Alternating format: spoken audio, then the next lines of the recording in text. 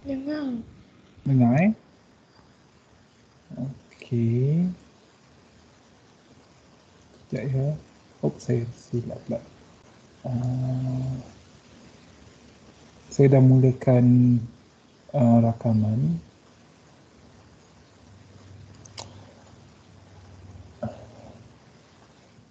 Saya nak terangkan sikit berkaitan dengan kuis uh, hari ini. Eh. Uh, jadi saya dah, sebenarnya saya dah uh, emailkan semalam, eh, malam semalam sedikit berkaitan uh, ataupun arahan berkaitan dengan kuis hari ini.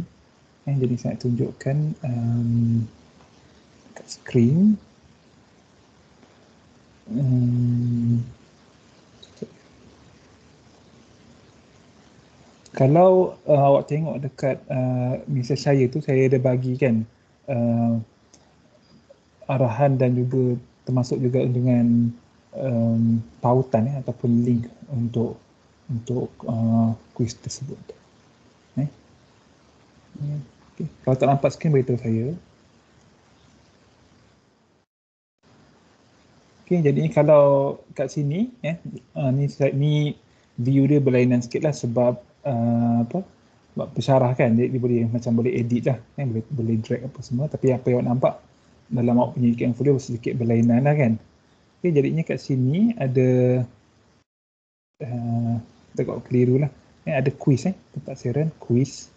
Quiz satu. Jadi awak boleh boleh klik lah quiz ni. Eh. Jadi dia akan bagi tahu uh, buka hari ni pukul 12 tengah hari eh, sampai pukul 12 malam lah ataupun 11.59 uh, malam. Eh. Jadinya um, dekat sini um, sama juga macam dalam dalam email saya cakap um, masa yang diberi adalah 45 minit. Eh.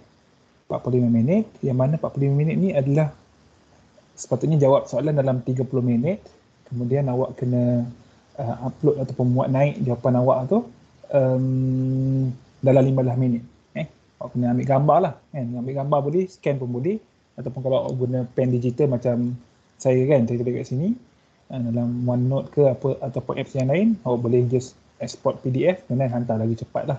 Okay, kalau tidak ambil gambar. Eh, ambil gambar. Eh, kemudian jawab ada lima soalan je. Tak banyak sebenarnya. Eh, lima soalan yang saya fikir tak susah sangat lah. Ha, tak, tak sama mana pun. Ha, gitu eh. Kalau awak buat uh, soalan tutorial tu saya rasa ha, mungkin dia lebih kurang macam tu je soalan tutorial yang dah dua kali tu kan. Okey, jadi ini jumlah markah 27. Eh, kenapa 27? Sebab itu je 27 yang saya boleh bagi kan bila saya buat skema jawapan tu uh, hanya 27 markas saja yang sesuai untuk uh, lima soalan tersebut. Eh, jadi ini adalah 10% daripada markah akhir awak lah. Eh. Kemudian awak kena tunjukkan jalan kerja. Eh, jalan kerja penting uh, sebab kalau tak ada jalan kerja, walaupun ada jawapan tapi tak akan dapat markah. Eh, jadi kena tunjukkan jalan kerja. In fact kalau jawapan salah pun, jalan kerja awak betul mungkin uh, ataupun jalan kerja tu uh, mungkin ada tersilap kan, tersilap kira ke apa tapi jalan kerja tu ada, insyaAllah lah boleh dapat markah. Eh, kerana awak boleh di, awak boleh rujuk buku, nota internet, eh, tak ada masalah, saya tak kisah pun eh, nota-nota yang saya bagi nota PDF ni kan, boleh je.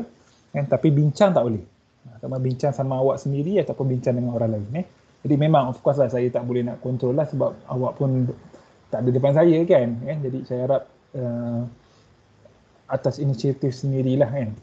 Trust sesama sendirilah eh. saya percaya pada awak dan awak juga um, tak bincang lah eh. sebabnya uh, jelah boleh tengok buku nota dan internet kan. Okey? Eh, satu kalau bincang pun kalau ada kat sini kan jalan kerja kan. Jalan kerja saya akan nilai juga jalan kerja akhirnya macam mana kan.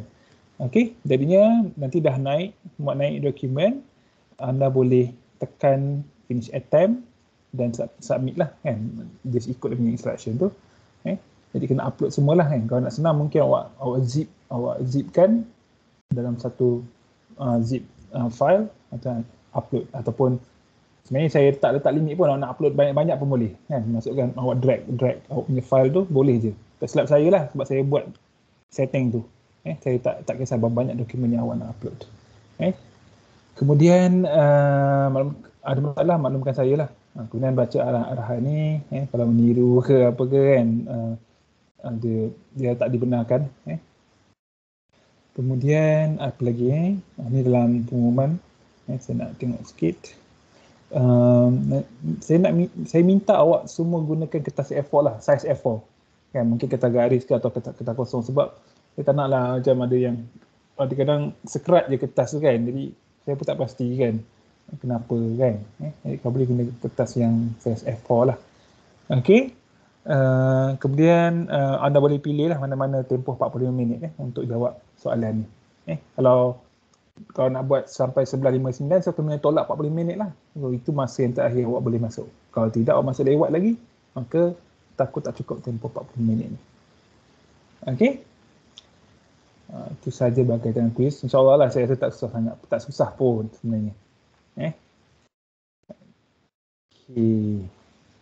Ada apa-apa soalan ke berkaitan dengan uh, kuis?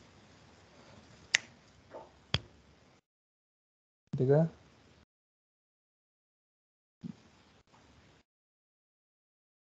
Okay, kalau ada tak apa. Okay, jadi semoga berjaya eh, untuk untuk kuis uh, tersebut. Okay, kemudian kita nak tengok uh, tak sambung apa yang kita main dah habis dah pun kan uh, untuk topik ni. Uh, tapi kita tengok contoh lah eh. Jadinya ini adalah macam mana kita nak terangkan tiga jenis keratan kon kan. Jadi keratan kon kita ada oh sorry. Keratan kon kita ada parabola eh. Kita ada ellipse dan kita ada hyperbola kan sebenarnya adalah keratan kon lah ataupun kita kata conic uh, section. Saya pun tak pasti kenapa digunakan berlainan kan keratan keratan ni kita cutting kan. okay. Kon konik lah. Yeah. Okay, jadinya uh, apa?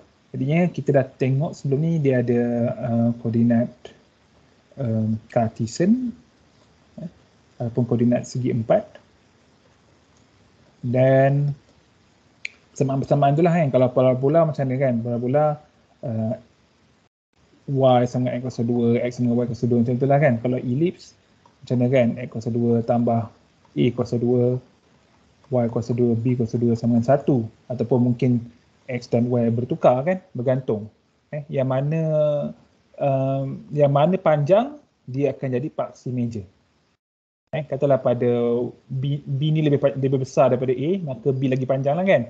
Jadinya titik fokus kita akan berada pada uh, kalau B maksudnya pada paksi Y. Eh pada awak dah tengok. Okey kemudian ada hyperbola iaitu x kuasa 2 x kuasa 2 tolak y kuasa 2 b kuasa sama dengan 1 ini pun sama juga. Eh bergantung kan? Mungkin dia akan tukar dia punya y ni di depan x di di di belakang. Okey kemudian kita ada satu lagi iaitu koordinat kutub kan? Eh koordinat kutub. Okey cuma tricky sikitlah nak fahamkan koordinat kutub ni. Okey tapi sebenarnya uh, koordinat kutub ni dia ada gunakan apa yang dipanggil sebagai sorry uh, keesentrikan kan eccentricity. Eh keesentrikan yang mana kalau ellipse eh kalau kat sini digunakan apa yang dipanggil sebagai uh, eccentricity kan ataupun ke eccentrikan iaitu E. Eh, kalau E kurang daripada satu, eh, kemudian dia ada uh, E sama dengan satu, dan E dia besar satu. Kalau E kurang daripada satu, dia adalah ellipse. Eh, dia adalah ellipse. Yang ini adalah apa tadi? parabola, hyperbola.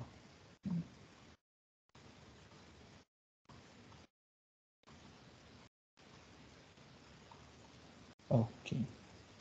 Kemudian ini bentuknya lah. Eh. Jadi kalau kat sini awak tengok uh, sebenarnya um, semua keratan kon ni dia bentuknya lebih kurang macam ni. Bentuk melengkung. Eh. Bentuk macam ni. Okey, jadi kalau saya bagi awak macam satu lengkung macam ni, awak tak boleh nak agak uh, ini sebahagian daripada elips ke ataupun sebahagian daripada lengkung parabola ke ataupun sebahagian daripada lengkung hyperbola. Kalau hyperbola akan ada pasangannya sebelah kiri iaitu macam ni. Kan kita tak boleh nak agak. Okey.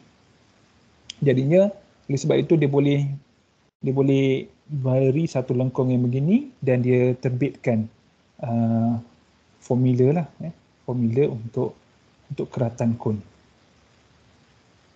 Okey. Untuk keratan kon ni lah. Eh. Jadi uh, kita tengok contohnya hmm, sekejap ya yang tadi lah. Okay. Jadi ni kita kena kenal pasti bentuk ni. Kan?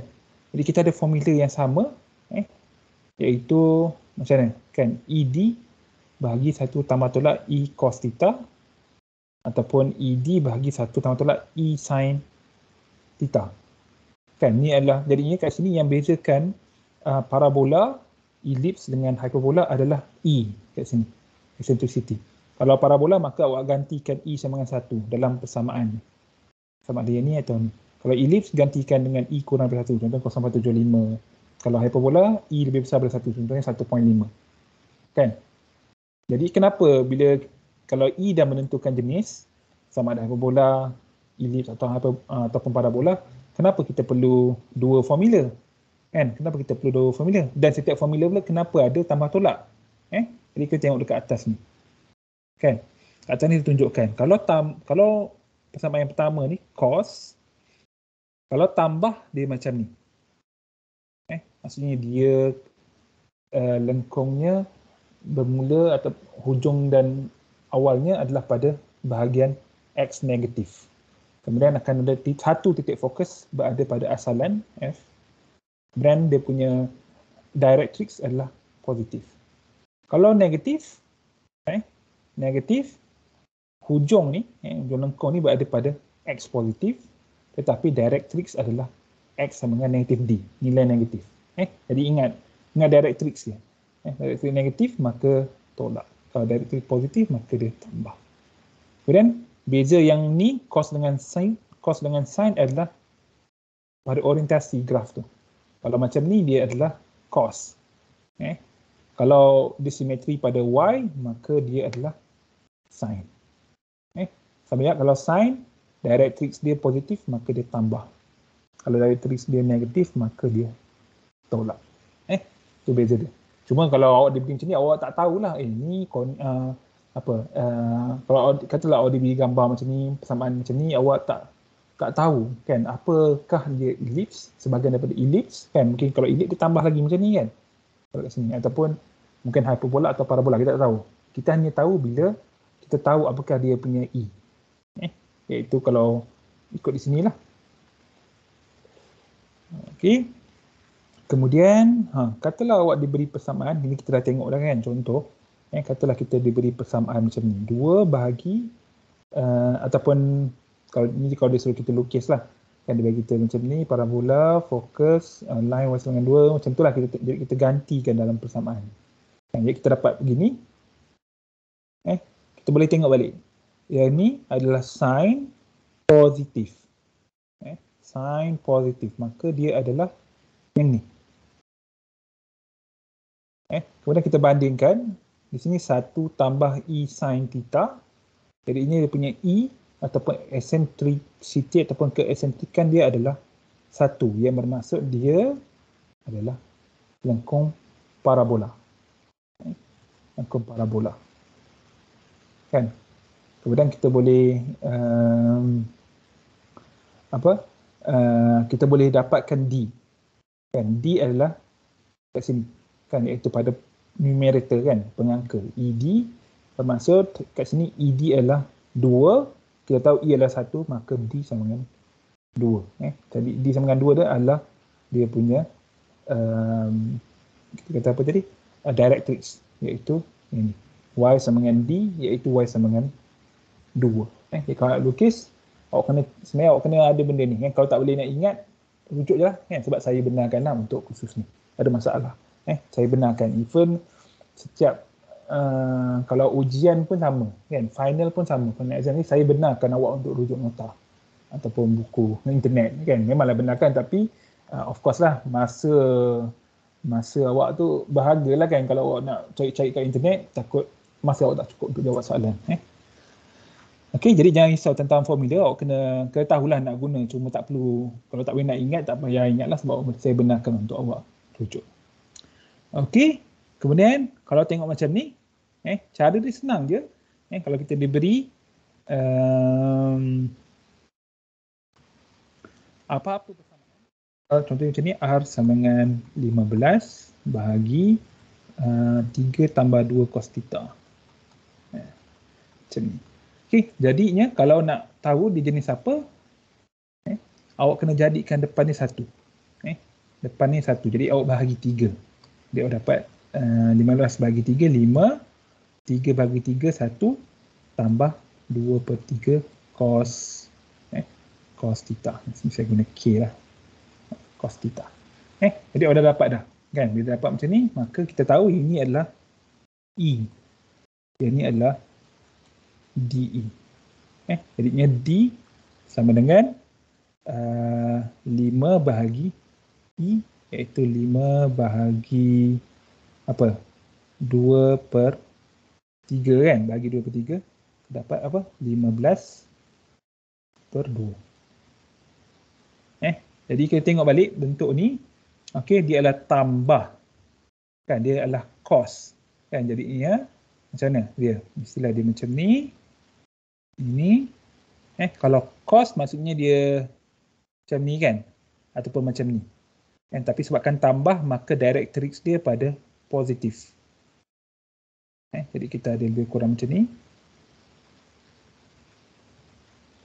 okey kemudian kita ada directrix oh sorry guna warna merah pun tak apa eh. so directrix dia adalah x sama dengan D sama dengan 15 per 2. Um, dekat sini, pintasan ni, eh sorry, uh, sini asalan sentiasa titik titik fokus. Eh, sentiasa titik fokus pada asalan. Eh, jadinya kalau kita tengok kat sini, gambar ni, asalan ni semuanya adalah titik fokus. Kan? Kalau let's say kita ada uh, parabola, eh sorry, hyperbola. So kita ada satu macam ni, ada satu lagi kan?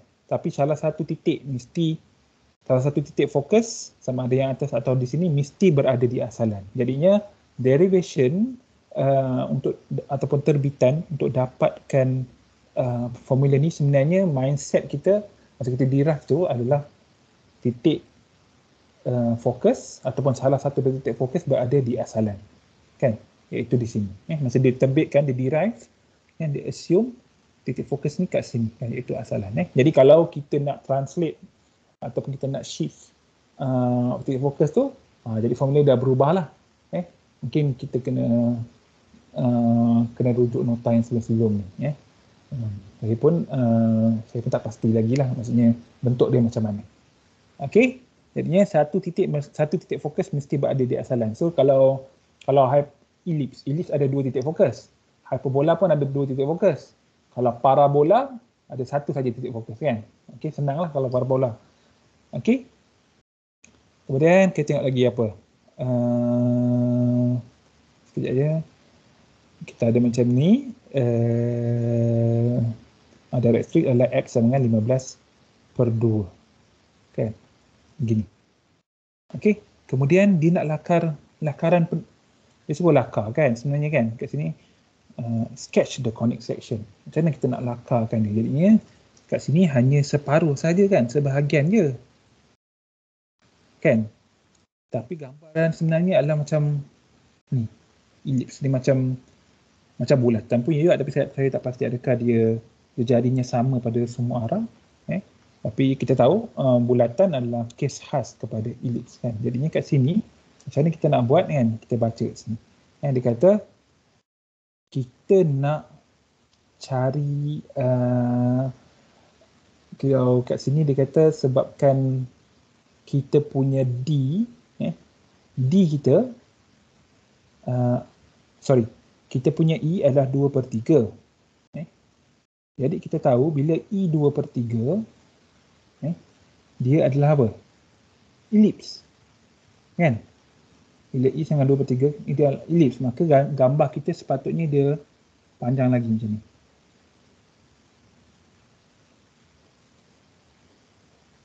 lebih kurang lah. Jadi bila kita tengok je, E tu kita dah boleh tahu dah. Kan?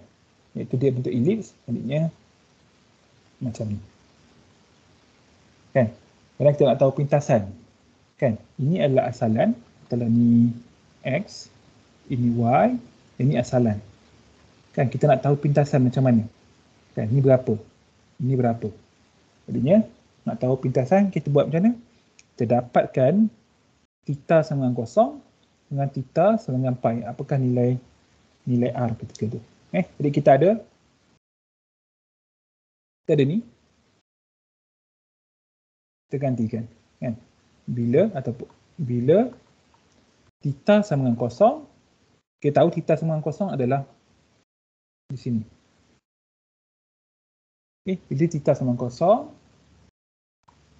maka R sama dengan 15 3 tambah 2 cos kosong. Cos kosong adalah 1 eh okay. so dapat 15 bagi 3 5 kan? Betul ke? Eh 5 okey jadi kita dapat sini adalah 5 yang ni tadi D adalah 15 per 2 15 per 2 adalah 7.5 kan ini okey kemudian kita nak tahu yang ni pula kan? Berapa panjang dia? Eh? Berapa panjang dia kat situ? 15 bahagi sekejap eh? 15 bahagi 3 cos cos betul lah kan? 5 hmm. 15 bahagi 5 3 lah kan? 5 okey. Ni nak padang kat sini. Oh. eh 15 bagi 5 kan 3 tambah 2 5 so dapat 3 sini sini kan 3 Okey, kemudian kita nak tahu ni panjang dia berapa. Kan, kalau kita nak tahulah. Eh. Um, jadi, kalau awak diminta untuk lakarkan, sebaik-baiknya awak tandakan koordinat-koordinatnya. Eh. Jadi, awak kena carilah. Eh. Bila theta sama dengan berapa ni? Kalau sini, ni adalah pi, kan? Dikira macam ni, kan? 180 darjah, pi, eh? Jadi, bila theta sama dengan pi, maka R sama dengan 15 3 tambah 2 cos pi. Eh, kita tahu cos pi adalah negatif 1. Kan? So 3 tolak 2, 1 dapat 15. Eh, jadinya panjang ni adalah 15. Jadi kat sini dia adalah negatif 15. Jadinya pengiraan memberi kita 15. Eh, tapi kita tulis kat sini negatif 15. So apa? Sebab R adalah jarak. R bukan position. Kan? R bukan X. R bukan Y. Kalau X sama dengan negatif 15, so kita kena tandakan negatif 15. Tapi sebab di sini R. R adalah jarak daripada titik kepada asalan. Eh, dengan diberi nilai theta adalah pi. Kan? Maksudnya kat sini jarak daripada titik kita maksud saya titik pada lengkung tersebut sampai asalan adalah 15. Eh? Jadi betul lah kita dapat jaraknya 15 tapi sebab ialah bila theta dengan pi maka dia belah sini. Kan belah belah negatif. Eh? Jadi kita dapat negatif 15. Okay. Dia dapatlah macam tu. Okay. Eh, dalam ni ditulis negatif 15 pi ni adalah dalam bentuk dalam bentuk apa uh, bentuk koordinat kutub lah kan dia tulis macam ni uh, titik ni eh negatif 15 ni kalau kita tulis dalam x dan y tapi kalau kita tulis dalam bentuk uh, bentuk koordinat kutub dia adalah 15 pi yang ni adalah r yang ni adalah theta okey itu sebab tulis macam ni. Eh tapi saya tak ada masalah pun kalau awak nak tulis macam ni ke ataupun awak nak tulis uh, awak nak, nak display negatif 15 saya tak ada masalah. Eh? Okey kemudian apa lagi dia kata? Uh, the center center of the ellipse is the midpoint. Kan? Uh, titik tengah kepada ellipse adalah midpoint. Kan? Jadi kalau titik tengah sini okey sini adalah 3 ni adalah 15 so total 18 18 bagi 2, 9. Maka ini adalah negatif 6. Eh. Ataupun dalam bentuk nak kutub, 6 pi lah. Eh. So, kat sini, titik ni adalah negatif 6, kosong. Eh. Ini adalah x, ini adalah y. Tapi kalau dalam nak kutub, r theta, dia adalah apa? Dia adalah 6 pi. Okey. Ataupun kalau awak um, tak sure, okey je lah. Kan? Eh, betul ke kan? So, awak buat R sama dengan X kuasa 2, Y kuasa 2, square root. Kan? So, dapat negatif 6 kuasa 2, kosong kuasa 2, dapat 6 juga. Dapat 6 positif lah, iaitu betul. Ini. Kemudian, uh, pi.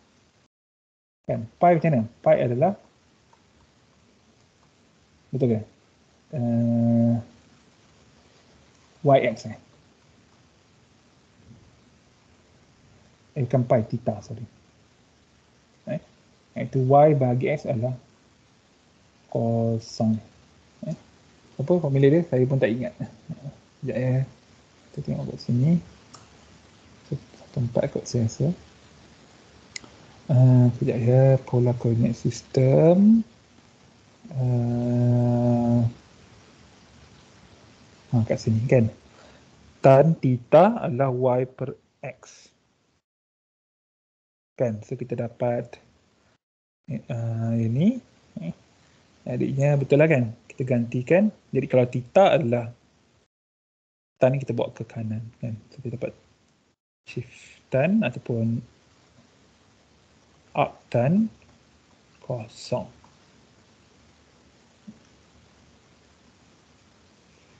So kita dapat uh, kejap ya. Kalau tan hmm, Sekejap ya saya tengok. Uh, oh sorry yang kat sini y x. Kalau tan dia macam ni.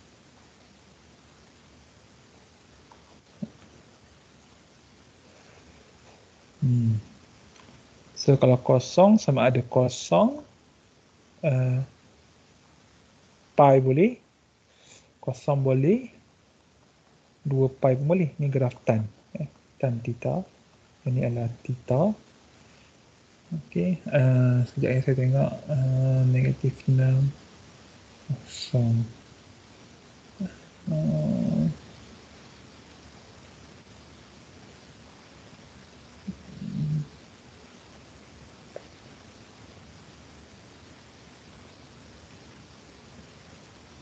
Hmm. Jadi kat sini sama ada kita gunakan ya, sama ada kita gunakan kosong pi. Dua pi tak payahlah kan sebab dua pi sama dengan kosong juga kan. Kosong atau pi semua satu kita nak pilih. Kan satu kita nak pilih. Um, kalau kat sini kalau enam kosong dia adalah dekat sini kan let's say ni adalah 6 jadi tak betul lah kan? Jadi dia belah.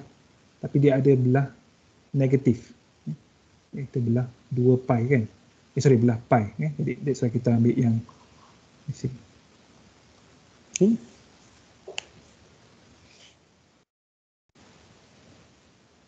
sebenarnya awak tak payah awak tak payah uh, kira pun kan? Awak tengok dekat sini je dah uh, dah tahu dah kan okey um, kemudian apa lagi uh,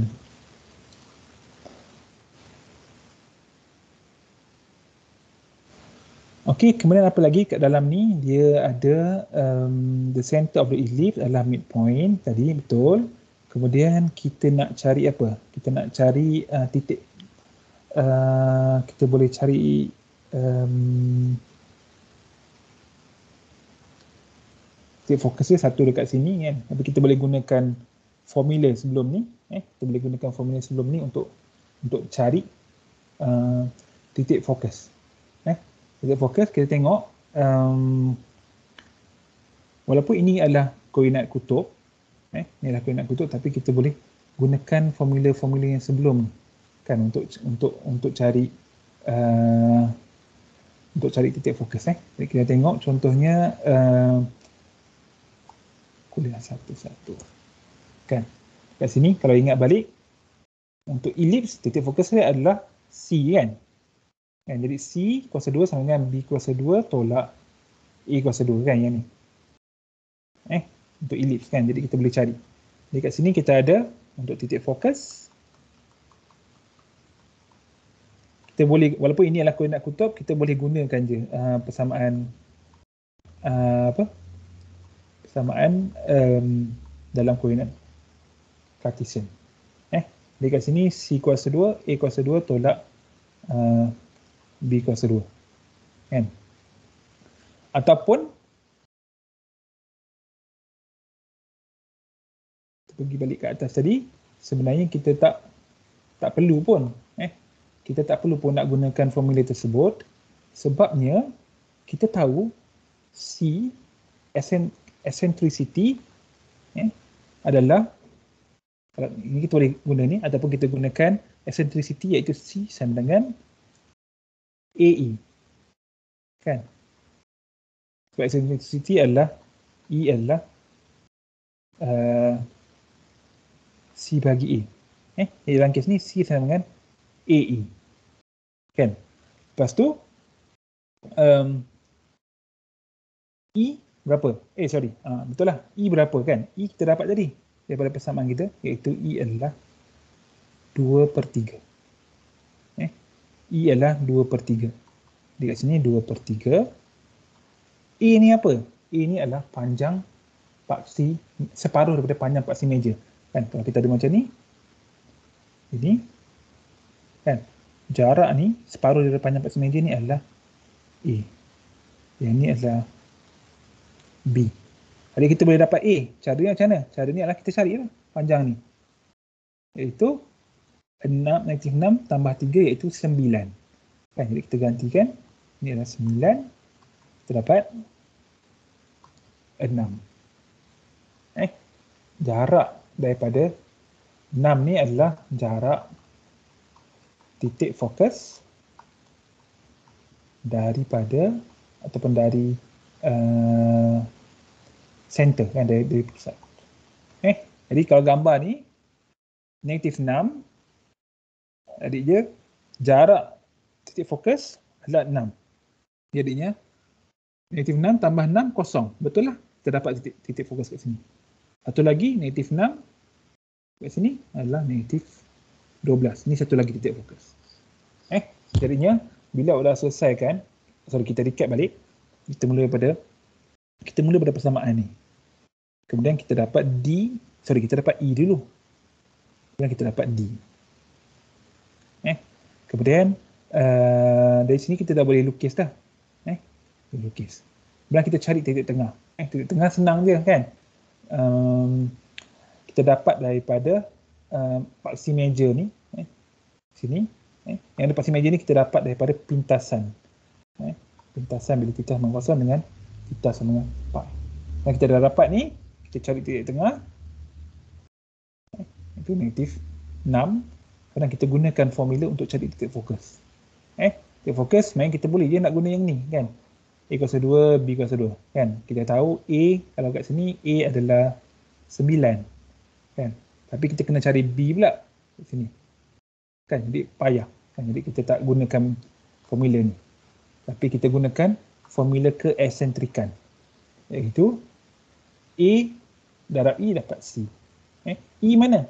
E kita dapat daripada ini tadi. Eh, daripada persamaan tu. Okey, dia macam ada turutan-turutan dia lah. Eh. Kemudian kita tengok uh, ni lebih kurang saya ingat lebih kurang sama kot. Eh cuma bentuk dia lain. Dia kata sketch the graph of the polar equation. Kan ni kita tengok itu bila begini cara dia yang pertama kita nak jadikan uh, di sini satu. So kita bagi dua untuk keseluruhan. Kita dapat 10 1 tambah 3 per 2. Jadi kat sini E adalah 3 per 2. Kan? Eh, kat sini kita ada uh, R sama dengan uh, kalau kita start balik 20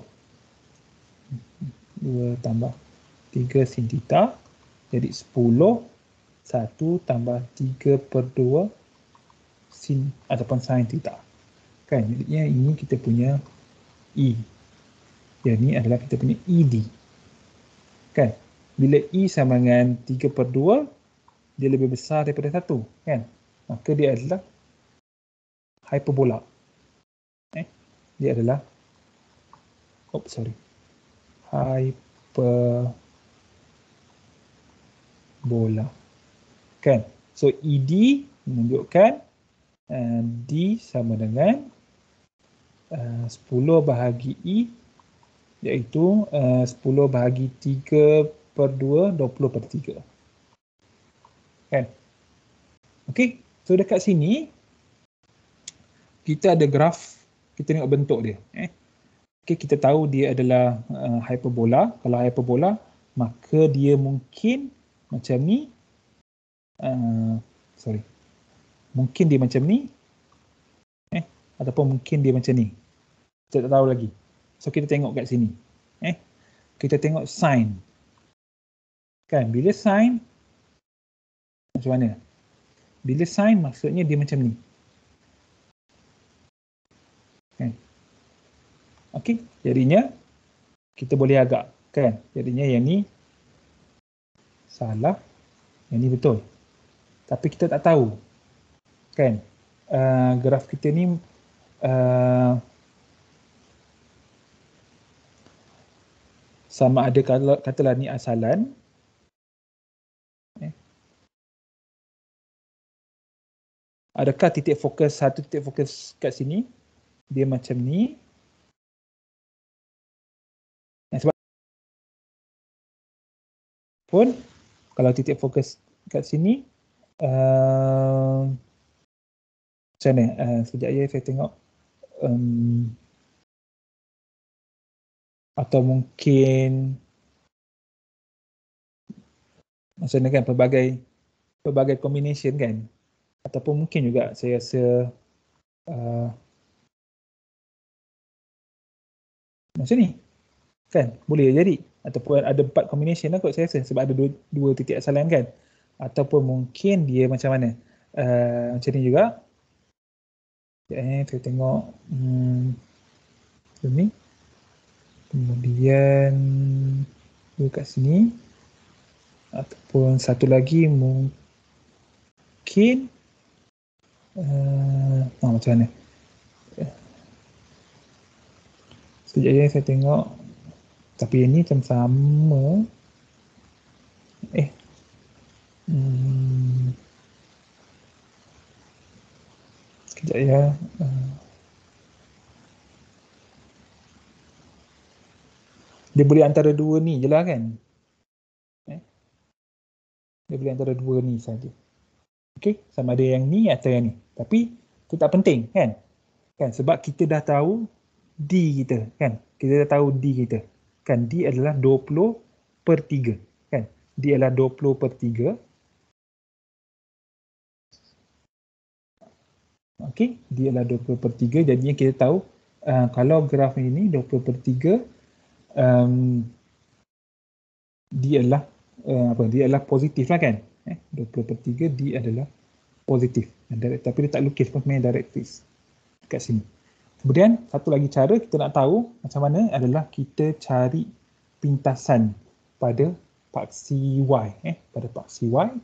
Eh jadinya apa dia buat kat sini adalah uh, persamaan kita ni sama juga macam yang tadi ellipse eh, kita gantikan bila theta sama kosong dengan 180 kan dalam kes kita eh, bila oh sorry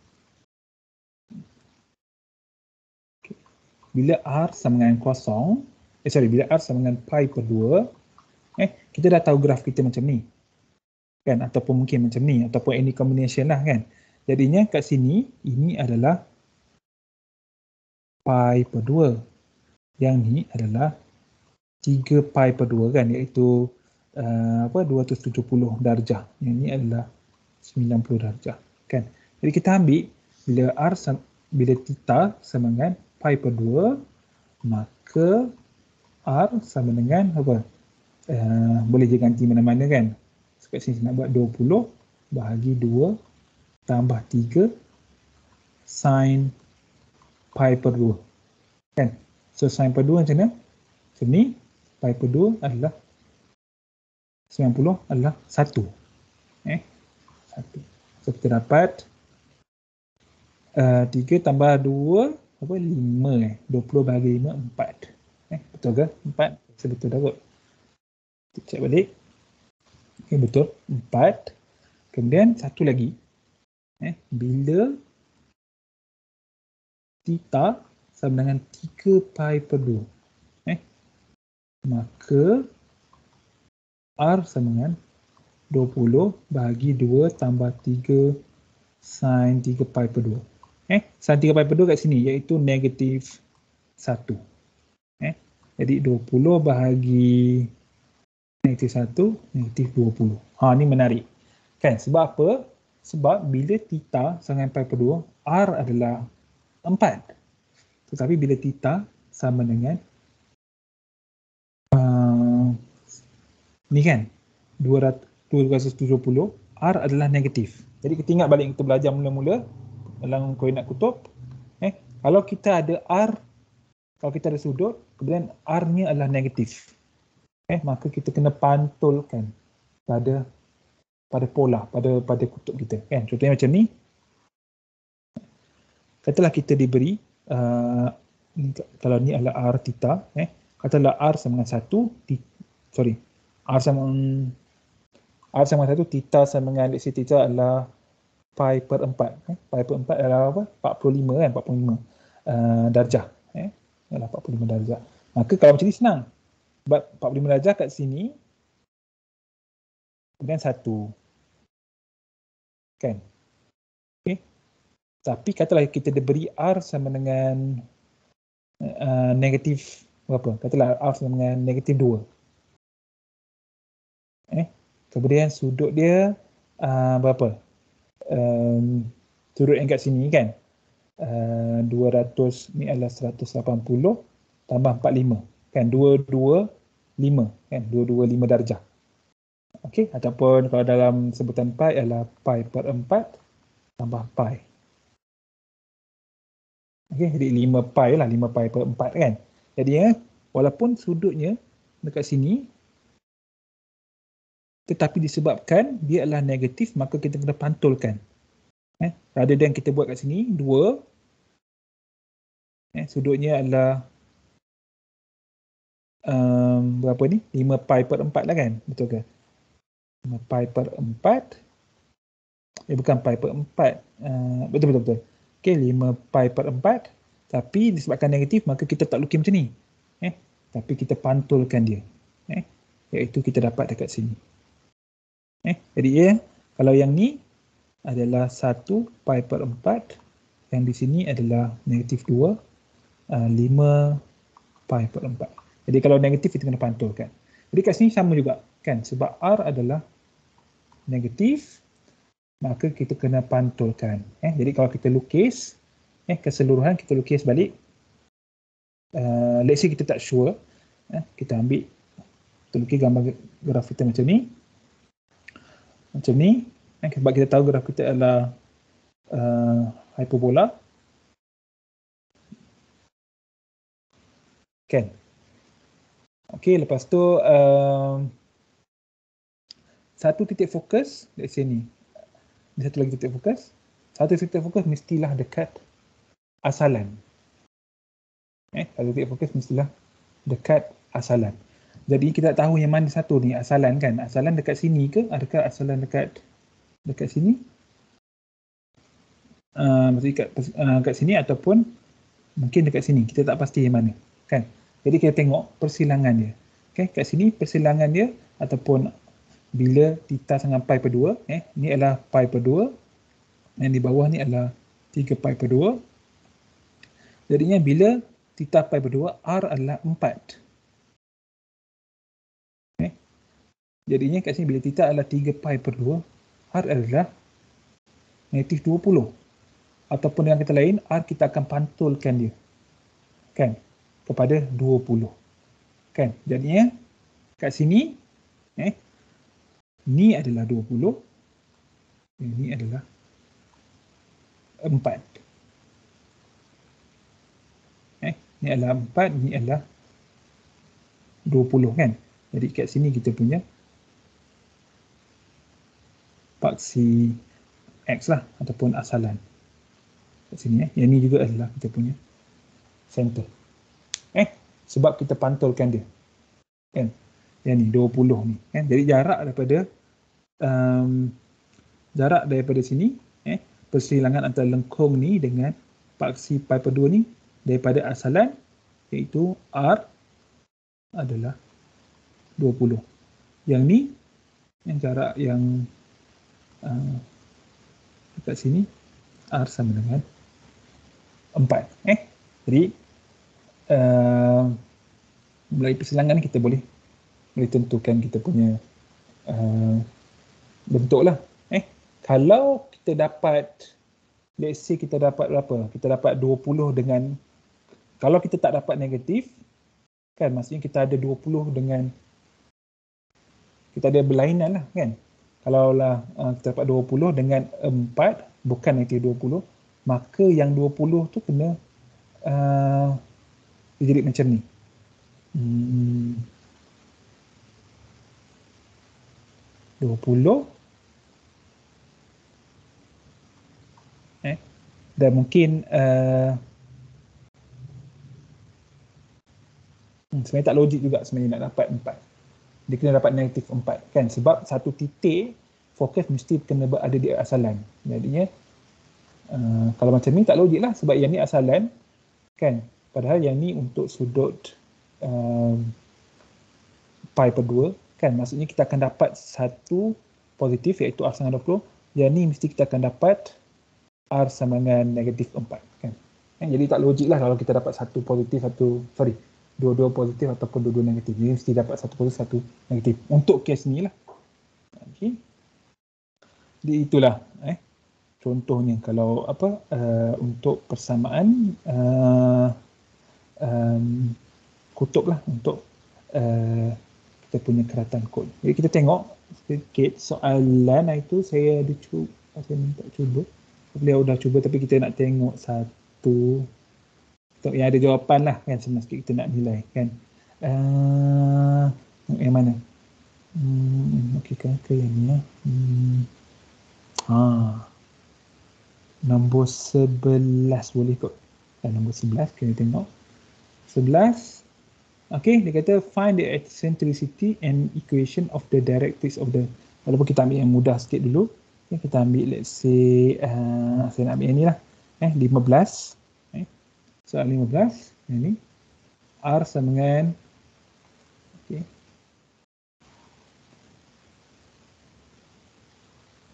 R sama dengan oh sorry. Uh, question 15. R sama dengan 1 bahagi 3 tolak 2 cos theta. Okey, so jawapan kita yang kita buat sama-sama lah eh. Kalau saya salah tolong betulkan. Okey, kat sini kita nak jadikan dia uh, satu di depan. Kan? Jadi kita bahagi 3, kita dapat 1 per 3 ataupun R sama dengan 1 per 3 bahagi 1 tolak 2 per 3 cos theta. Cos. So kat sini kita ada oh sorry. Ini kita punya E. Ini adalah kita punya D E. Eh. So E sama dengan 2 per 3 kurang daripada sorry kurang daripada 1. Eh, kita tengok balik. Bila kurang daripada 1 dia adalah ellipse. Okey, ini menunjukkan ellipse. Kemudian directrix kan? D eh, DE sama dengan 1 per 3 bermaksud D sama dengan 1 per 3 bahagi E kan? Bahagi 2 per 3 iaitu 1 per 3 darab 3 per 2 dapat 1 per 2. Okey. Jadinya kita dah dapat kita punya directrix. Uh, tapi tak selesai lagi kan. E dah dapat bentuk ellipse kan. Kemudian kita tengok persamaan kita. Kan? Cos. Eh? Cos theta. Eh? Maksudnya macam mana? Kalau cos dia macam ni. Mungkin macam ni kita punya ellipse ataupun macam ni. Kita tengok dia negatif ke positif kan? So, kita tengok negatif. Eh, kalau negatif, maksudnya macam ni. Eh, jadinya, kita akan dapat nanti bentuknya sepatutnya macam ni. Kemudian kita akan dapat satu titik fokus dekat asalan. Jadinya sepatutnya kita akan dapat macam, oh sorry. Kita akan dapat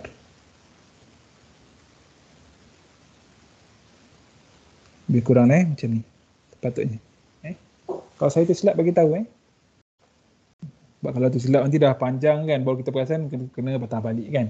Jadi macam ni kan jadinya ini adalah satu titik fokus kita F1 kan kita ada center dan kat sini kita ada let's say ada F2 dan F2 kemudian ni adalah kita punya vertex kan V kan vertex V2 V1 kan tapi tak apa. Okey, kemudian uh, apa lagi? Directrix kita kan directrix kita negative D. Kan jadinya directrix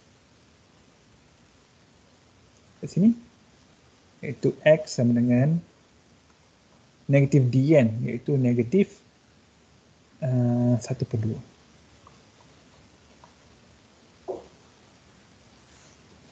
Okey, kemudian kita boleh tentukan kita nak cari kita punya vertex ni. Kan? Itu vertex dekat sini. Vertex dekat sini. Jadi tengok eh kat sini uh, oh sorry yang ni adalah A eh yang ni pun jarak dia adalah A yang ni adalah paksi minor eh? B. Kan tapi B ni payah sikit kita nak kira kan? Jadi yang kita gunakan macam tadi iaitu apa kita buat? Kita tengok eh kat sini uh, kita punya apa? Uh, ini adalah pintasan lah kan? Pintasan antara lengkung ni ataupun intersection antara lengkung dengan kita punya paksi X eh?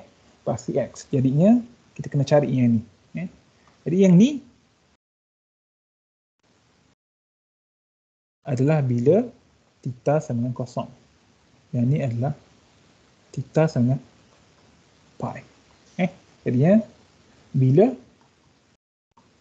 theta sama dengan kosong maka R sama dengan 1 per ataupun saya ambil ni 1 tolak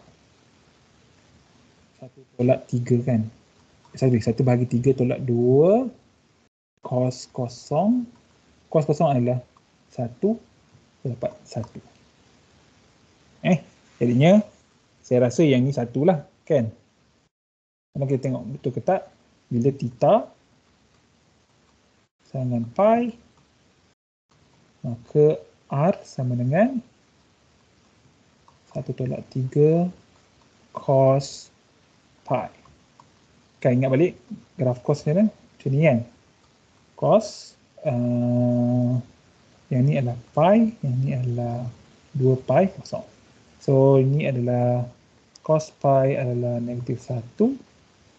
So kita dapat, eh betul ke? Hmm, cos pi adalah negatif 1.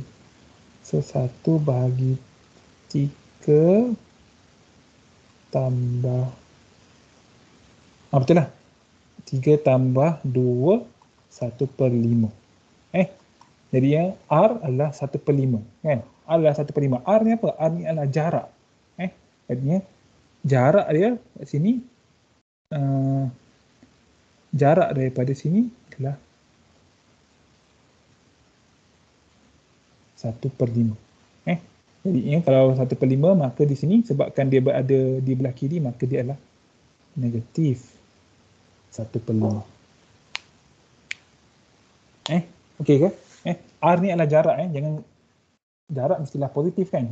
Okey? Tapi bila kita gambarkan, kita labelkan, kita tulis, kita tulis negatif satu per lima lah sebab dia berada belah kiri atau dalam kalau belah kiri kan bagi graf. Eh, jadi dia akan satu lima. Dan kita cari titik fokus. Kan? Ikut macam tadi. Titik fokus adalah apa? C sama dengan AE. Kita boleh gunakan je ni. A kuasa 2, B kuasa 2. Tapi kita kena carilah B pula macam mana kan?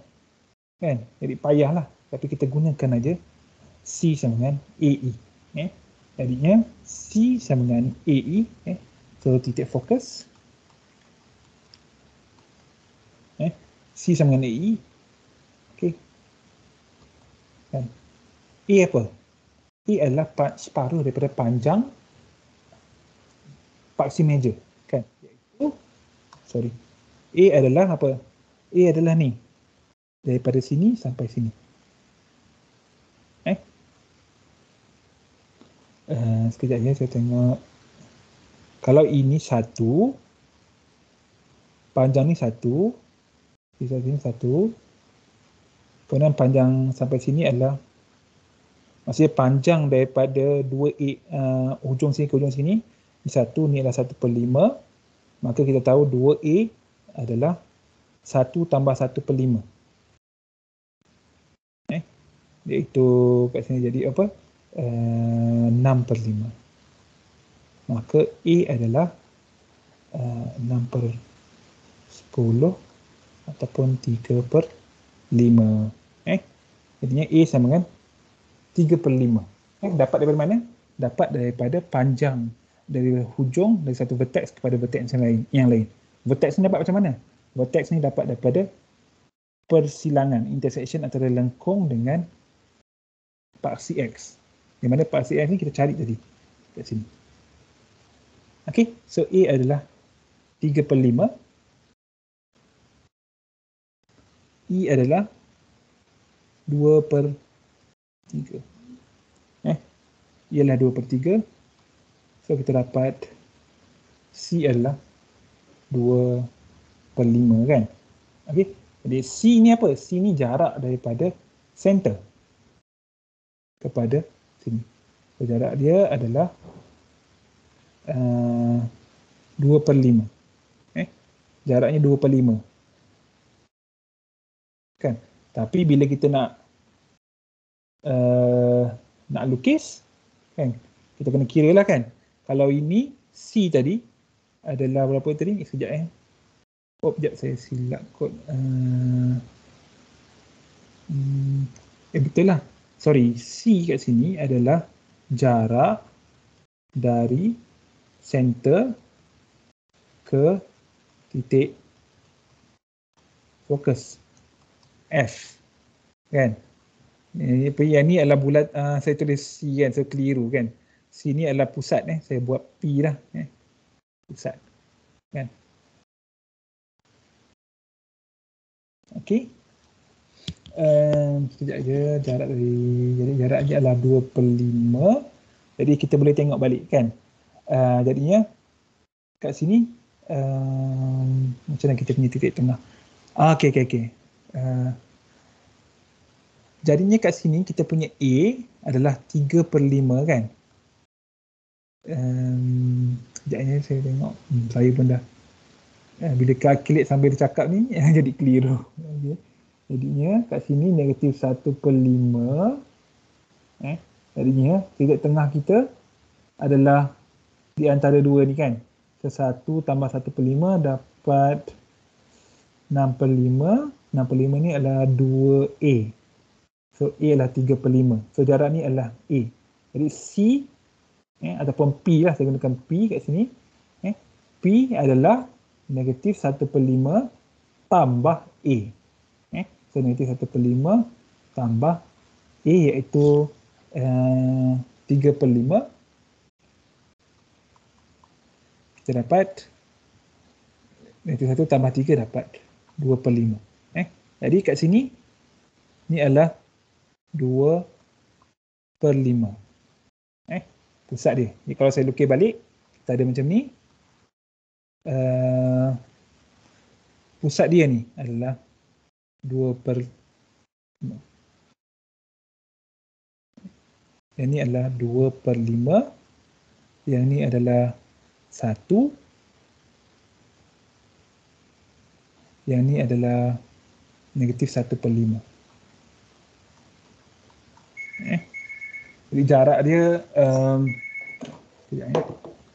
Jadi jarak dia um, kat sini adalah A. Eh. Mana kerja saya? Okey. Ini adalah A. Okey, kemudian kita nak cari titik fokus kan? Nak cari titik fokus, eh. Jadi C, eh. C ni adalah titik fokus eh, jarak dia. Eh. Bukan C ni bukan center. Kan jadinya jaraknya adalah 2 per 5. Jarak daripada mana? Jarak daripada pusat. 2 per 5. Kan? Jadinya 2 per 5 kita uh, tambah dan tolak lah. Kan? Jadi 2 per 5 tambah 2 per 5 kita dapat 4 per 5. Kan? Jadinya kat sini adalah F2 kita. Iaitu 4 per 5. Satu lagi adalah 2 per 5 tolak 2 per 5. Kita dapat kosong. Eh? Jadi ini adalah F1. Jadi betul lah.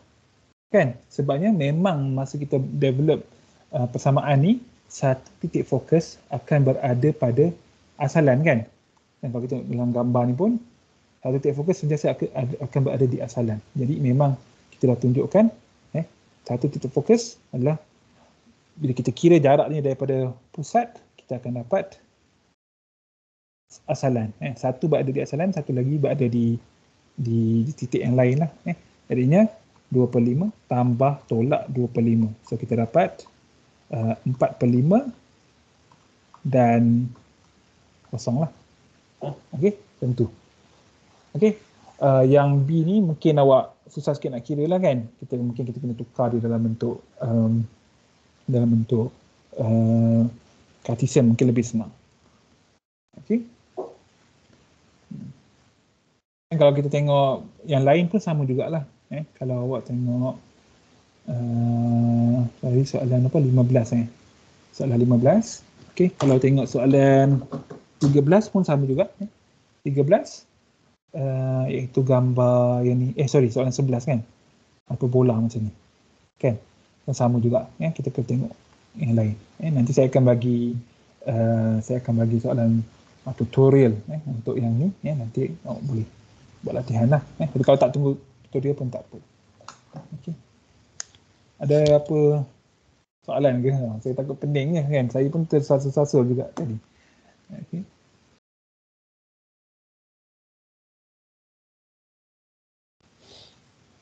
Adakah ada soalan? Kita try buat satu soalan lah. Eh, kita try buat satu soalan. Uh, kita ada gambar. Okay. Uh, hmm saya ingat kalau yang parabola ni senang sangat tapi uh, boleh juga sebenarnya. Eh, kita tengok soalan nombor uh, tadi soalan 15 kan? Kita soalan 13 eh. Cuba buat soalan 13 eh. Soalan 13 kat sini. Eh, boleh take file dululah kot eh. 11 3 minit. Uh, bukan take file lah. 11 10 uh, masuk balik. Lepas tu kita try buat soalan 13 eh, dalam 5 minit ke eh. Artinya 11.15 kita akan bincang eh. 11.15 kita akan bincang. Terus lepas baru kita boleh masuk topik yang yang baru. Okey. Eh cuba eh soalan nombor 13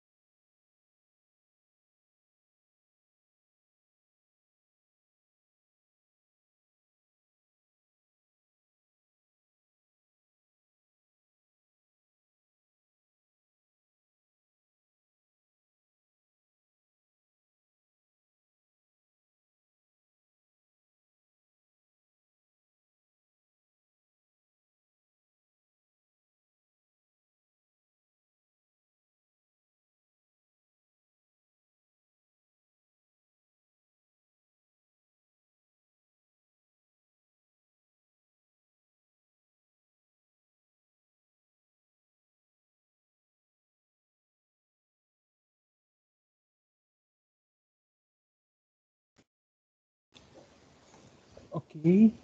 Kita sambung. Eh. Jadi ada dah cuba. Boleh share dekat uh, kita punya chat. Eh, meeting chat. Boleh ke? Siapa yang dah cuba soalan nombor 13 sepatutnya awak dapat lebih kurang macam ni lah. Hmm. 13 ABC. Kan dia suruh cari apa ni? Dia suruh cari eccentricity, uh, identify the conic, bentuk dia lah kan. Dan sketch the curve. Okay, kan sini. Okay, yang lain pun boleh share. Ya, ada. Okay, so kita tengok jawapan ni. Okay, uh, sorry saya besarkan sikit. Kat sini. Eh, so kita nak cari tadi uh, eccentricity. Kita dapat sini kita bahagikan jadikan depan dia satu. Okay, ini sama juga lah. Okay, bahagi difaktorkan dua. Dan jadi lima per dua. Eh. So, tambah cos theta sama juga lah. Okay. So kita punya eccentric kita sama dengan satu. Okay. Dan ni kita punya ED. ED adalah 5 per 2. So D adalah 5 per 2 bagi 1 dapat 5 per 2. Okay. So directrix kita 5 per 2. Kan? Kemudian kita tak tahu nak lukis macam mana kan. Kita tengok bentuk dia. Okay. Kita tengok pada soalan kita. Sorry, nota kita. Eh, oh, sorry, mana? Ah, kat sini kan. Kita tengok So cos theta so kita boleh buang yang dua ni lah, buang dua tinggal dua ni. Kan? Kemudian dia tambah kan ataupun kat sini tambah cos theta. Kan? Dia bermaksud yang ni lah. Eh, so directrix mesti belah positif x sama dengan d. Dalam kes ni x sama dengan 5 per 2 which is yang ni. Betul? Okay, so kita dapat macam ni. Kan? Tapi uh, kita tengok eh uh, dekat sini uh, dia kata sorry dia suruh cari apa lagi tadi. Uh, eccentricity kemudian jenis dia apa kan. Jadi bila E sama dengan 5 per 2 eh sorry E sama dengan 1 dia adalah parabola eh. Kita kena tulis jawapan dia. Parabola eh. So ni A B kemudian sketch eh. Jadi kalau kita tengok balik uh, bila kita sketch ni kita boleh uh, kita buat macam tadi kan macam yang yang panjang yang saya buat ni kan iaitu untuk apa untuk kita nak cari dia punya untuk kita labelkan setengah-setengah uh, elemen yang penting eh itu sebab saya cari apa tadi uh, bila theta sama kosong kita dapat r begini gini gini bila theta sama dengan pi kita dapat begini eh so dalam ni tak ada lah tak, tak dibuat eh tapi tak apa kita tengok jawapan yang lain dulu eh uh, Sabrina Tahir. Okay. I sama dengan satu. Okay, ini sama juga lah. Uh, dibahagikan. Saya besarkan sikit. Uh, pula. Okay. okay, bila tita sama kosong, maka uh, ni, tak habis ni. Okay, tapi tak apa. Okay. Kemudian, uh, sekejap. Okay, betul. Okay, ada Wia um, parabola ni kedua ni apa ni paksi apa x lah uh, ni paksi y lah kan sebab sebab gambar ni terbalik kan. Okey jadi betul eh. Cuma kita boleh tambah lagi maklumat maklumat dekat sini eh berdasarkan apa yang uh, kita tengok eh. Jadi kat sini kalau kita tengok soalan saya nak tulis jawapan saya. Okey uh, example 13 kan. Jadi kita ada R sama dengan 5 kita dan of course lah kita boleh ringkaskan dia uh, 5 per 2 1 tambah cos theta. Kan? Jadi kita tahu tadi graf kita daripada sini kita dapat uh, ini adalah ED ini adalah satu adalah E. Jadi ingat E sama dengan 1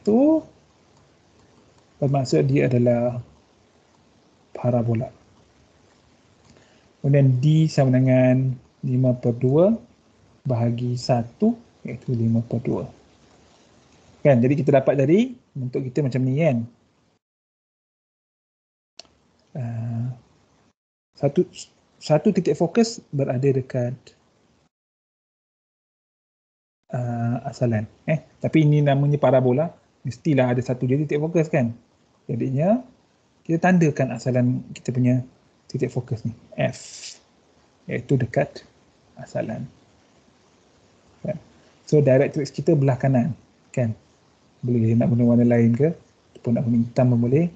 Eh, iaitu kat sini directrix kita dekat uh, kat sini saya tandakan let's say D lah iaitu X sama dengan 5 per 2 eh kat sini 5 per 2 kemudian tadi kita duk masukkan macam ni kan macam saya nak saya cari dia punya pintasan untuk cari dia punya vertex kan tapi untuk untuk untuk ellipse vertex tu yang ni lah kan penghujung lengkung tu kat sini vertex ni yang mana? Vertex ni adalah yang ni.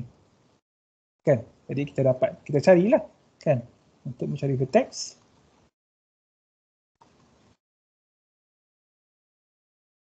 Eh? Jadi kita uh, tetapkan eh? ataupun uh, iaitu pada theta sama dengan apa?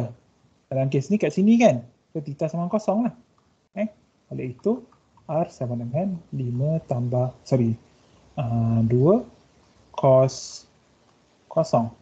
Iaitu 5 bahagi uh, kosong adalah 1, 5 per 4. Eh, so kat sini adalah 5 per 4.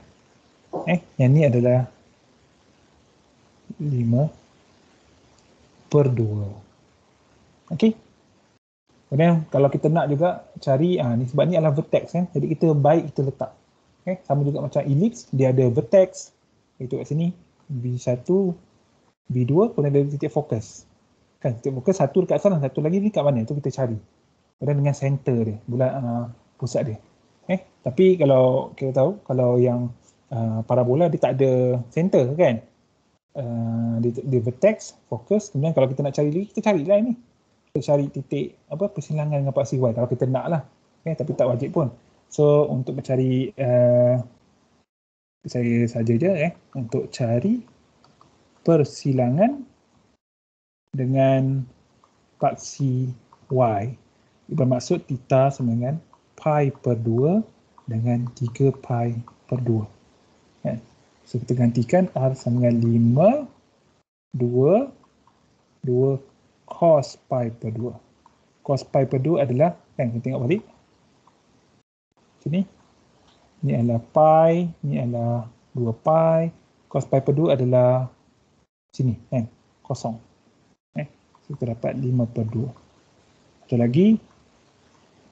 Uh, 2 tambah 2 cos. Sorry, bila theta sama dengan ni, bila theta sama dengan pi per 2, ini theta sama dengan 3 pi per 2. So 3 pi per 2 kita dapat sama juga 5 per 2. Okey, kat sini tengok eh. Bila theta sama dengan pi per 2 iaitu garis ni. Maka R kita jarak eh. R adalah jarak eh, bukan koordinat. Eh, jadi jarak daripada pusat kepada titik kita pada lengkung adalah 5 per 2 maka jaraknya adalah kita tandakan iaitu kat sini. Eh? Iaitu jaraknya, oh sorry, adalah 5 per 2. Eh? Kemudian tengok satu lagi. Bila R sama dengan, sorry, bila theta sama 3 pi per 2. Kat mana garis 3 pi per 2? Kat sini. Kan, ini 3 pi per 2. Kemudian R adalah 5 per 2. Iaitu jarak lengkung tersebut kepada pusat adalah 5 per 2. Jadi ini dia jarak oh, sorry jarak 5 per 2 eh jaraknya positif kan bermaksud titiknya memang berada di sini kalau negatif kita kena pantulkan dia ke sebelah ke sebelah sini kan ingat balik yang kita buat dekat ke atas-atas ni tadi eh? Okey jadi awak boleh carilah eh? Uh, titik persilangan ni tapi vertex ni yang penting lah untuk awak masukkan. Okey. So minta awak cuba yang lain eh? Tak susah pun. Saya ingat especially yang parabola ni kan. Parabola ni lebih senang kan? Kemudian yang susah saya rasa ellipse susah juga kan? Sebab dia ada dua titik fokus kan? Eh? Kemudian sama juga dengan hyperbola susah jadi kita kena ingat bila kita ada ellipse sebagai contoh eh,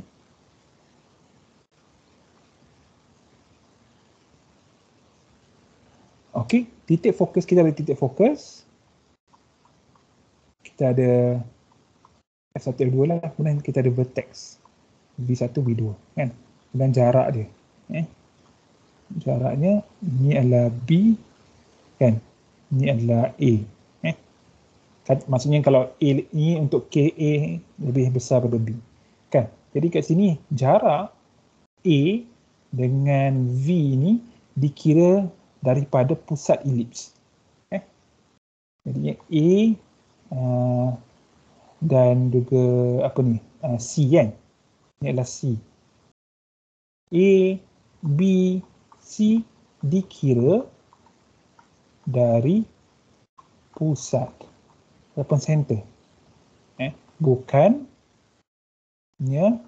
dari asalan. Eh, kena ingatlah sebab kita kat sini lah kan. Kita uh, macam susah sikit lah kita kena kira kan. Kita dah dapat kita dah dapat vertex, kemudian kita terpaksa cari koordinat untuk pusat dengan kita bahagi dua tambahkan sini yang mana dapat.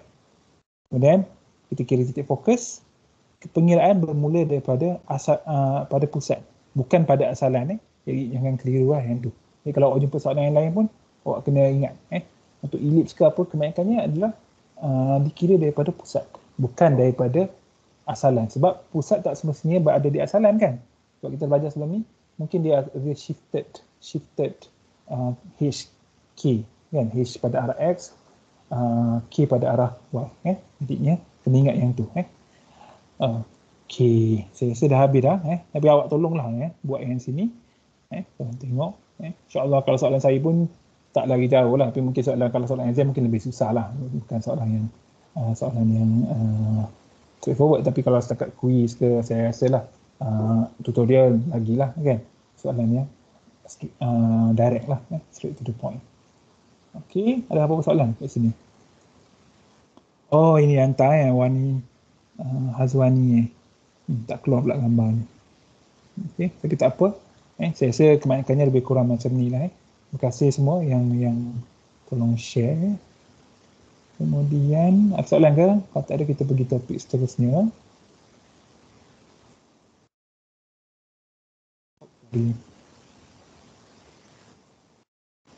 Okay. Ni sekarang kita nak masuk. Oh, sorry. Ada apa-apa tu? Sekejap. Ya. Yeah. Keluar macam ni. Oh. Tak ada kot kat sini. Oh, ni yang tadi eh. Gambarnya. Ah, okay, macam ni lah kan. Cari uh, D yang kedua. Dan bila tita sama kosong, dapat dia punya uh, vertex. Eh. Terima kasih. Eh. Memang macam ni lah. Apa yang saya nak. Okay jadinya kita tengok eh kita masuk function of two or more variable. Eh ini pentinglah sebabnya uh, kita nak pergi kepada integration lepas ni eh. Uh, kaedah kameran eh. Kameran kada dua kada tiga. Eh, itu kita akan pergi lepas kita naik semester lah. Minggu depan minggu tujuh lepas minggu tujuh maksudnya minggu cuti selepas tu lepas tu. Selepas cuti naik pada cuti kita masuk kameran eh. Ganda dua dan ganda tiga. Okay, jadi kalau awak dah faham kat sini, insyaAllah lah yang seterusnya lagi lah, lagi mudah lah kan. Especially awak pun dah pernah belajar sebelum ni kan. Okey, jadinya kita ada uh, ada banyak contoh sebenarnya kan.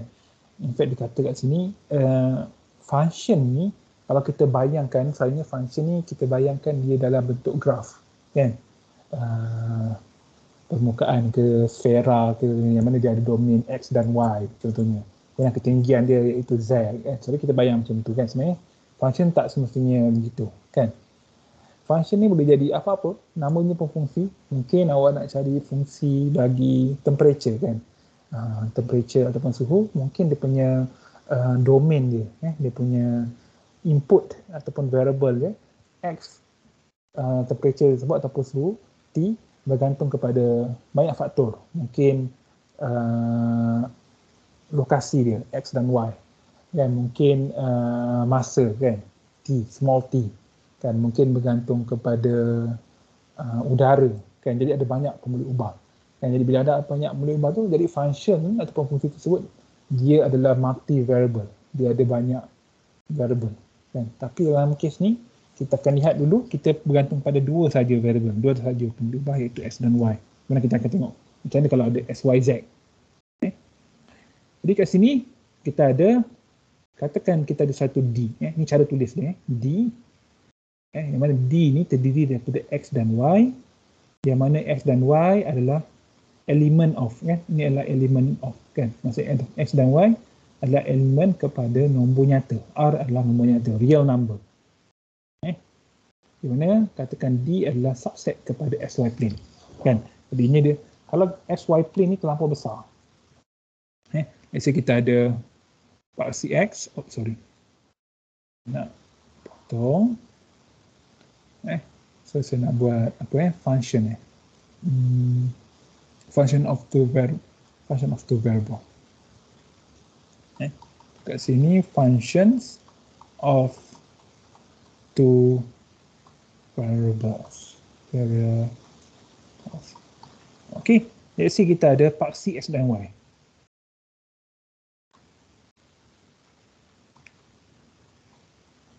Okay, gambaran kita X dan Y ni macam ni. Lepas kita lukislah ialah uh, X sama dengan 5. Dan yang ni kalau 5 mungkin 1, 2, 3, 4, 5. 1, 2, 3, 4, 5. Contohlah. Kan? Negatif 5, negatif 5. Kan? Jadi ini bukan dikira paksi XY lagi. Sebab paksi XY, dia sampai infinity. Kan? Kalau X tu sampai infinity, negatif infinity. Kalau Y sama dengan, eh, sorry, yang belah kanan pun sampai infinity. Kalau y pun sama. Yang dia sampai infinity, yang sampai negative infinity. So itu dia kira xy plane. Eh, sebab dia semuanya dalam mana-mana arah positif atau negatif dia adalah pergi kepada infinity. Jadi katalah kita ada suatu domain kan. Kat sini D. Nah, memang D ni hanya kecil saja.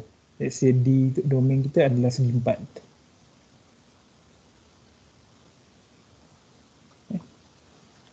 Okey. Jadi disebabkan segi empat ni berada dalam satah XY. Jadi eh, kita kata that's why dekat sini sebut D adalah subset.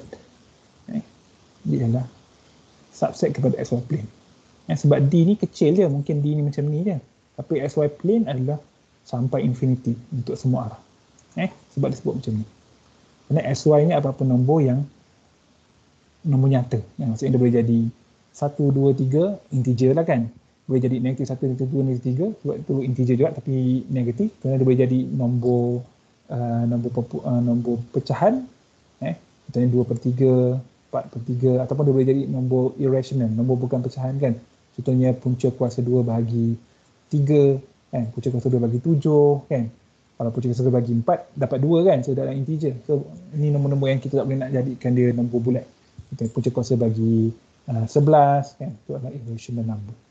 Okay, kemudian set D is called the domain of F. Eh? Eh? Jadinya uh, kalau kita ada fungsi kan, D adalah domain lah kan, kita telah belajar sebelum ni. Kan?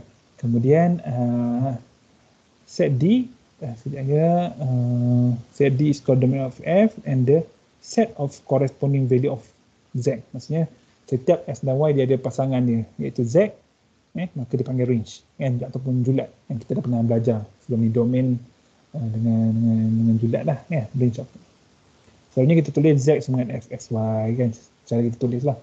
X dan Y adalah independent variables ya, kemudian ubah yang tak bersandar dan Z adalah dependent variable kan pemilik ubah yang bersandar kan. Okay, ini kita dah belajar dulu lah eh, kat sekolah ke kan dan sebagainya. Kemudian katalah kita diberi suatu fungsi kan fxy adalah x kuasa 2 tolak xy tambah 2y so find the domain of f. Dan evaluate f12 f21 ft2t f kuasa 2y dan bla bla bla. Kan jadi nak tengok domain. Eh domain. Jadinya domain iaitu apa benda yang sesuai ataupun apakah nombor-nombor yang sesuai untuk F. Okay, jadi kat sini kita nampak F adalah Kuasa 2 tolak XY tambah 2Y. Jadi kita boleh masukkan apa-apa nilai XY dalam ni. Kan? Jadinya dia kata jika macam ni maka domain dia adalah entire XY plane. Maksudnya apa-apa titik pun dalam sini adalah sesuai untuk kita masukkan dalam fungsi ni. Maka D dalam kes ni adalah keseluruhan. Bukan besar ni saja tapi keseluruhan dalam ni semua ni. Sebab apa-apa nombor pun sesuai kan. Biasa kita ambil negatif 10, 10. Sesuai je masukkan dalam fungsi ni. Tak ada masalah pun. Kan kita ambil sejuta. Sejuta, kemudian koordinat Y pun sejuta. Kan? Tak ada masalah. Boleh je kita gantikan. Sebab fungsi ni tak ada, ada tak ada restriction. Eh? Tak ada apa-apa. Eh? Uh, yang boleh menghalang nombor daripada digantikan. Jadi kita akan tengok kalau square root kan let's say kita ada punca kuasa 2 uh, dalam function kita atau dalam fungsi kita. Jadinya kalau punca kuasa mestilah dalam tu mestilah nombor nombor yang bukan kosong. Eh sorry bukan negatif kan. Maksudnya lebih besar ataupun sama dengan kosong. Eh tu dia ada restriction eh. Kemudian kita gantikanlah eh apa-apa kita gantikan je eh kalau x, x lah. Ya, macam ni dalam kes ni, f, x, y. Maka kalau ada f, 1, 2, maka semua x adalah digantikan dengan 1. Semua y akan digantikan dengan 2 kan. So gantikanlah. Kalau f, 1, 2, x, 1, x, 1, y, 2, y, 2. Atau kira. Kan? Ataupun kalau digunakan apa? Digunakan x kuasa 2y. Yang kita anggap ini adalah kita punya x. So kita dapat X kuasa 2 per X kuasa 2 kuasa 2 kan so, kat sini kita kuasakan 2 lagi kan sebab nombor yang pertama akan digantikan pada X nombor yang kedua akan digantikan pada Y eh, saya assume ni, ni senang sangat lah kot eh. Uh, boleh tengok sendiri ok sekarang kita tengok domain eh. find and sketch the domain eh. so example tiga Sama juga macam kita pernah belajar dulu. Let's say kita diberi f, x, y sama dengan y kuasa 2 tolak x. Kan? Kita cek domain dulu. Kan? So kita tahu punca kuasa jadinya kalau punca kuasa yang dalam ni mesti kena lebih besar ataupun sama kosong. Okay? So, oleh itu, y kuasa 2 tolak x besar sama kosong. Eh, ataupun kita kata uh, terpulang lah kan, kita nak buat macam mana kan. Ha, itu, itu pun dah cukup lah. Oleh itu domain kita, cara kita tulis domain di adalah, eh kita tengok balik macam ni tadi ke atas, dia kata apa. Kan, domain mestilah xy eh, adalah xy yang mana ataupun sedangkan eh, y kuasa 2 tolak x dia besar daripada kosong. Eh, jadi dia ada tiang ni. Eh. Okey, jadinya saya fikir itu pun dah uh, dah cukup dah.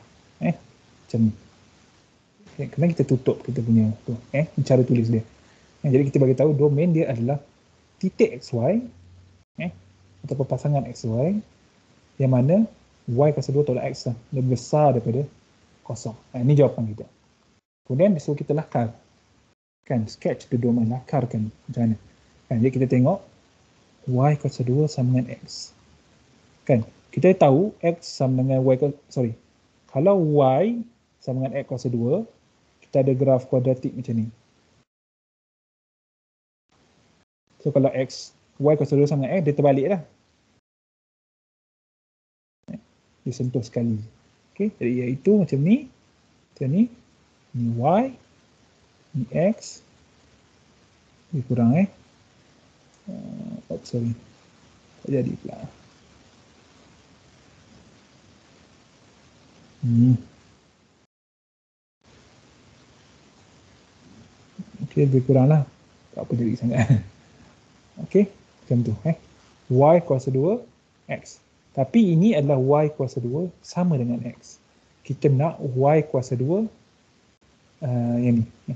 Y kuasa 2 lebih besar atau bersama dengan X. Kan? Macam mana kita nak lakarkan ni? Ini garis dia. Tapi kita ada ketaksamaan. Iaitu kita ada region dia. Kawasan ni macam mana? Cara yang paling mudah adalah dia kata kat sini awak pick a point in one of the region. Katakan awak pilih satu kosong iaitu titik di sini. Kan? Iaitu X sama dengan satu eh, Y sama dengan kosong kan. So kalau kat sini uh, ini adalah X ini adalah Y. Eh, kemudian kita gantikan.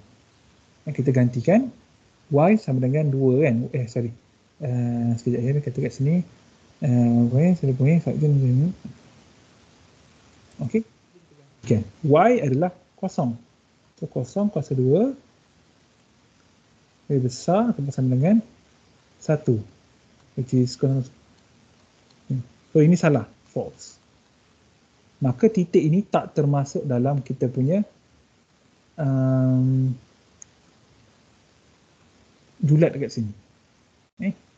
Jadi ya, dia false. Dia tak termasuk, dia tak memuaskan ataupun memenuhi persamaan ni. Jadi ya, yang masuk adalah hmm. eh? Kita boleh try, ambil lagi satu titik. Contohnya negatif satu, kosong. Kan? So kat sini negatif satu adalah uh, sekejap ya. Negatif satu adalah X, Y kan? So kemudian kita gantikan kat sini y adalah kosong kuasa 2 lebih besar daripada negatif 1 eh? iaitu kosong lebih besar daripada negatif 1 betul lah? true kan?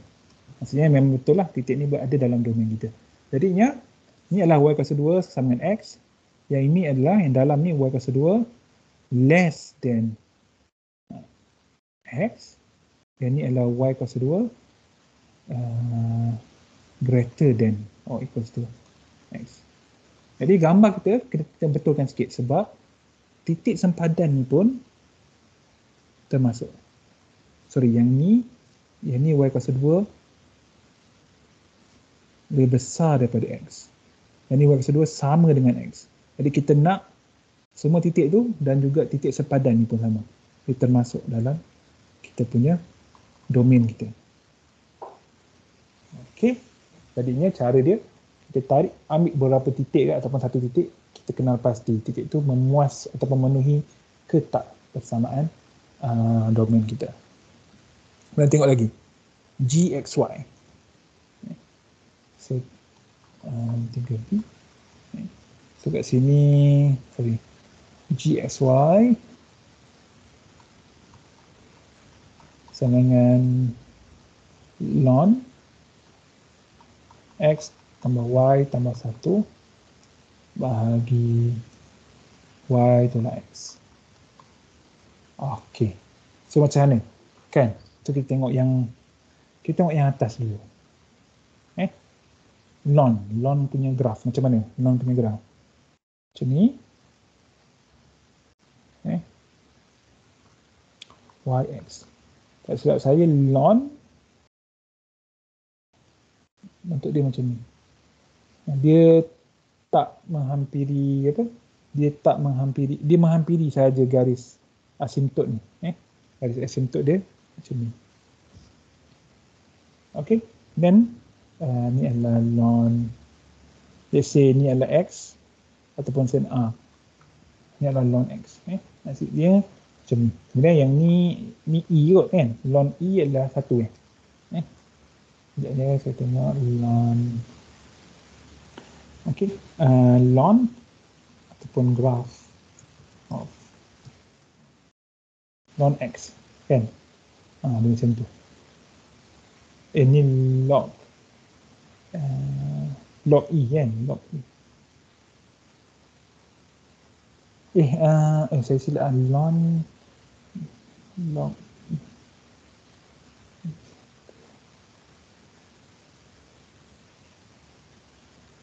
Oh, sekejap eh. Ah, ni pula. Oh, dia satu. Pitasan dia kan. Log satu. Log satu. Kalau log E, log E, sekejap eh. Kan, log satu. Uh, so, kat sini kan E ni adalah satu eh. Kan, saya pun ingat-ingat lupa kan. Okay, ni adalah satu. Jadi kat sini kita nampak domain eh, domain dia mestilah X kena lebih besar daripada kosong. Eh, sebab tak ada, kalau kita bagi lon negatif, dia tak ada nilai. Even kalau lon kosong pun tak, dia tak ada nilai sebab graf dia tak menyentuh uh, garis ni. Maksudnya untuk X sama kosong tak ada nilai Y yang sepadan. Eh, yang kata lain, dalam ni mesti kosong. Oleh itu, dalam ni adalah kena lebih besar daripada kosong. Eh, so kita ada itu x tambah y tambah satu kena lebih besar dari kosong. Eh, kita punya domain. Kemudian ada lagi tak sekatan? Ada. Eh, ada lagi. Sebab kita tengok ni y tolak x. Imagine kalau macam ni, apa masalah dia? Masalahnya adalah bila denominator menjadi kosong. Kan? Bila y tolak x sama dengan kosong, maka keseluruhan ni menjadi tak sah. Kan? Sebab nombor, satu nombor bahagi kosong kita akan dapat infinity. Jadinya y tolak x tidak boleh kosong. Eh? Jadi kita ada dua kita ada dua formula lah untuk kita punya domain iaitu ni yang pertama dan ni yang kedua. Eh? Jadi cara tulis dia sama juga. Eh? Macam ni. Eh? The D, oh sorry. Eh? The D sama dengan XY. Eh? Dia apa? Such that eh? X ataupun yang mana X tambah Y tambah 1 lebih besar daripada kosong dan eh? dan apa? Dan Y tolak X tak boleh sama kosong ataupun Y tak sama dengan X. Eh, ini dah cukup dah kita punya jawapan untuk tulis jawapan tu lah. Eh, tapi dia minta kita lakarkan. Eh, kita lakarkan macam mana? Kan, jadinya domain bagi kita punya function ni adalah 2D. So, kita boleh lakarkan lah sama macam ini. Eh, kita lakarkan dia. Eh, ni let's say ni Y, ni X. Dan kita nak lakarkan ni. Semua ni dan kita ada x tambah y tambah 1 lebih besar daripada kosong ataupun y lebih besar daripada negatif x tolak 1. Kan? Jadi yang kita nampak ni ni adalah y sama dengan negatif x tolak 1 ni yang graf graf apa graf linear function. Kan? Iaitu pintasan dia negatif 1, pintasan y negatif 1. Kat sini, oh sorry. Kemudian dia punya kecerunan negatif 1. Kan? So maksudnya kat sini ya. Dia punya pintasan X dia. Eh? Ni saya assume bawa dah. Dah biasa. Okey, yang ni adalah Y sama dengan negatif X tolak 1. Tetapi kita nak uh, Y lebih besar daripada negatif tolak 1 ataupun yang ni mana-mana lah kan. Kita nak Y lebih besar. So lebih besar belah mana? Belah ni ke? Belah kiri, eh, belah bawah. Kan? Jadi kita ambil satu point. Dalam ni dia ambil point apa? Satu kosong. Dia ambil point ni satu kosong. Eh. Digantikan. Gantikan. Eh, gantikan. Y adalah kosong.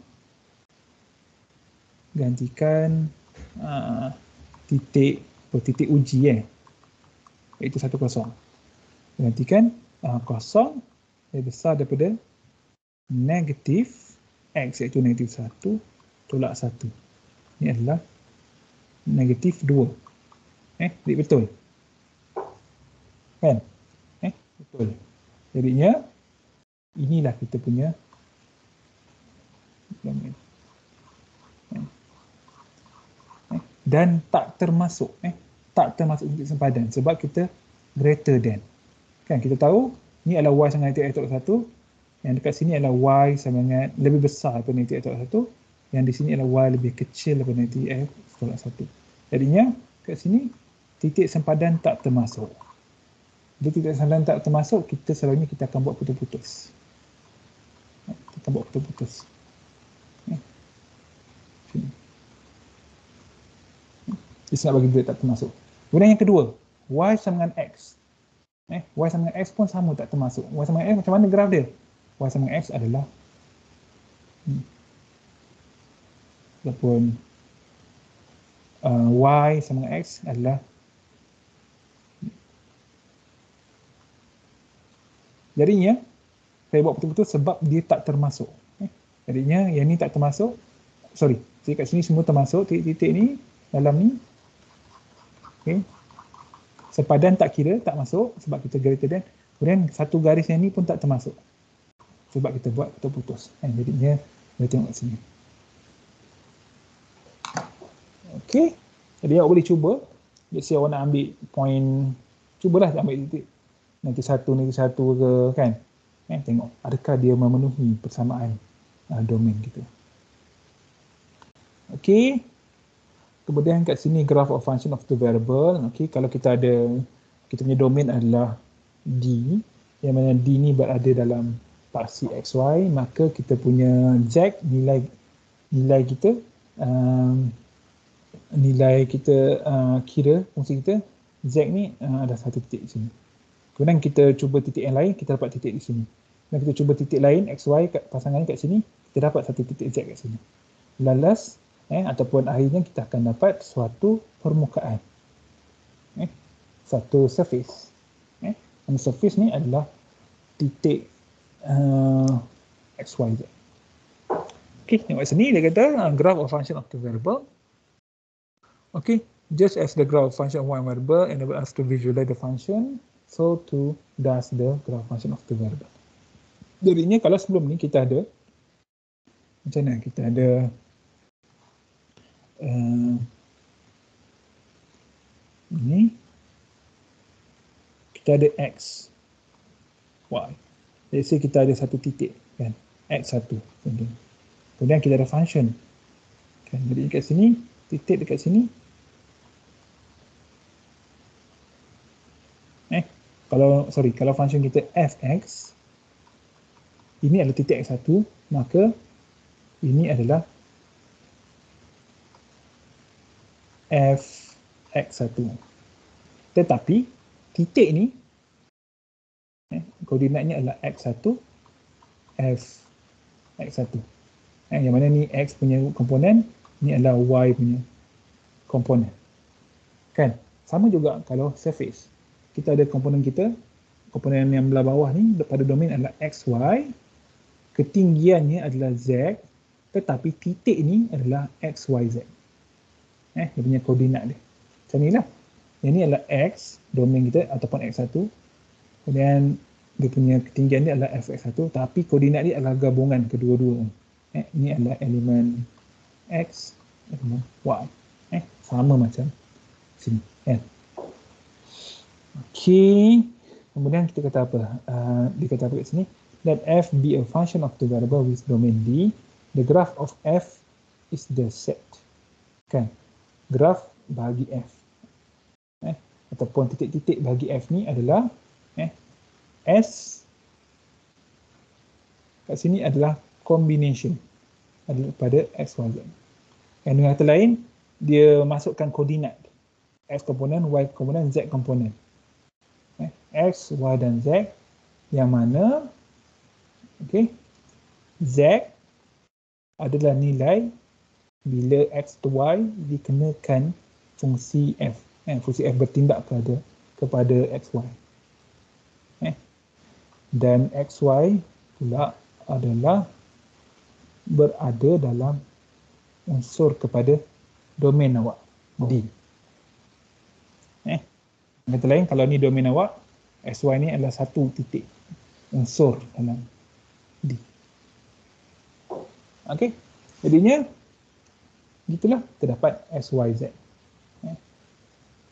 Uh, tak boleh padam yang tu, tak apa. Eh, jadi SYZ ini eh, sebagai apa? Ordered triple.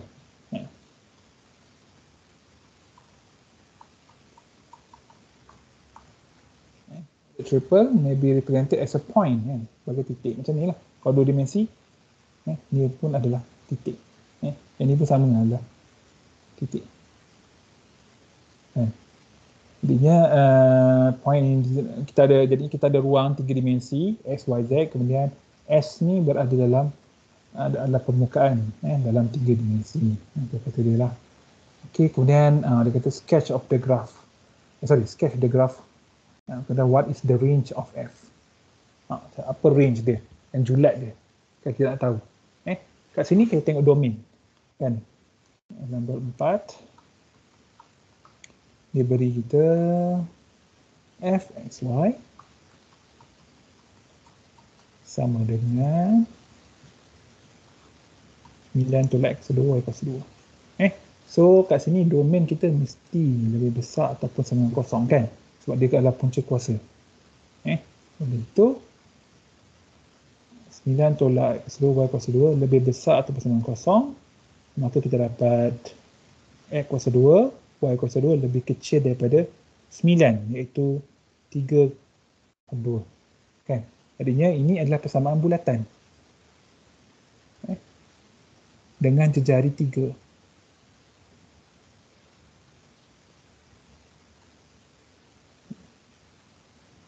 eh? kemudian uh, betul lah eh? dengan jari 3 kemudian dia termasuk sempadan eh? dia ada sama dengan di sini ada tanda sama dengan maka dia termasuk sepadan. Kalau dia kurang, kalau less than saja, maka sepadan ni akan jadi macam ni. Eh, kalau dia less than saja. Kalau ada sama dengan, maka dia termasuk uh, sempadan dia.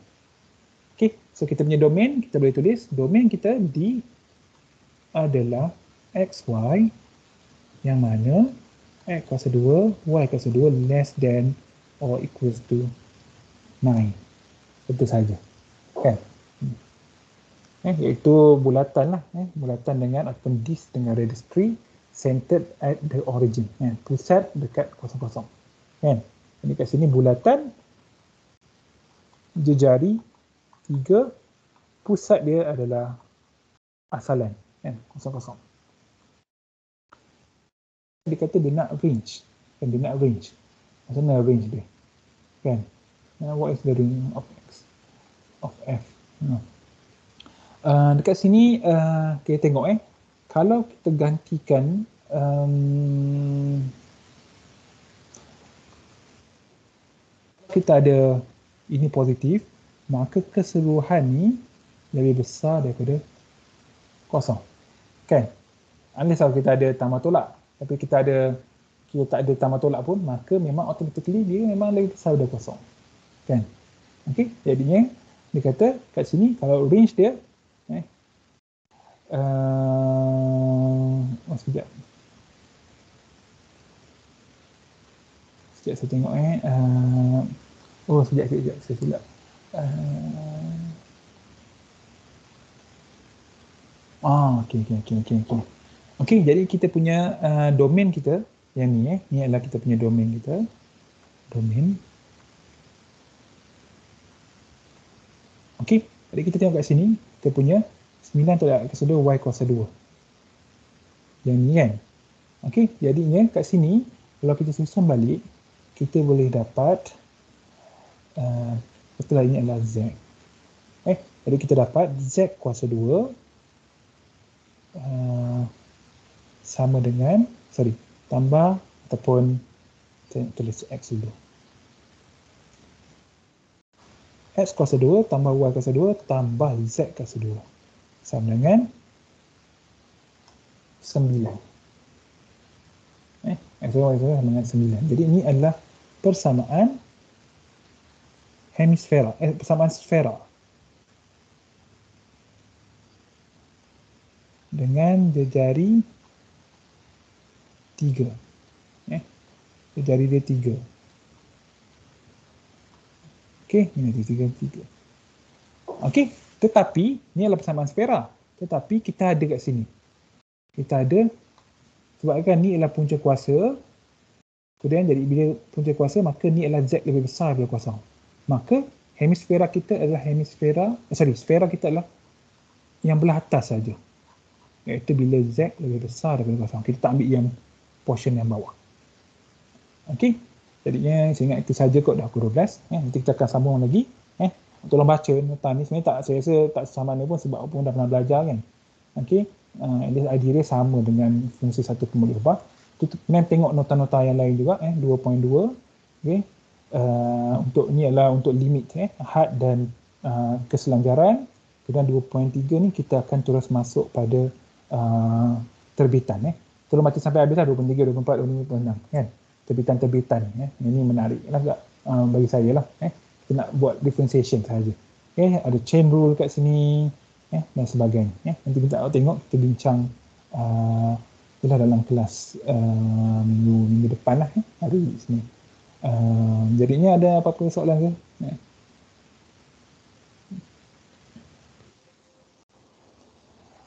Okay, tak ada, tak apa. Eh, jadinya uh, saya akan letaklah dekat um, video dan nota semua dekat uh, sorry cutingan saya ni dekat UKM Folio kemudian uh, uh, semoga berjaya lah eh, untuk untuk apa untuk quiz eh quiz uh, 45 minit eh okey uh, itu saja kita jumpa lagi Assalamualaikum warahmatullahi wabarakatuh. Uh, selamat berhujung minggu lah. Okey. Terima kasih doktor. Sama. Terima kasih doktor. Kasih doktor.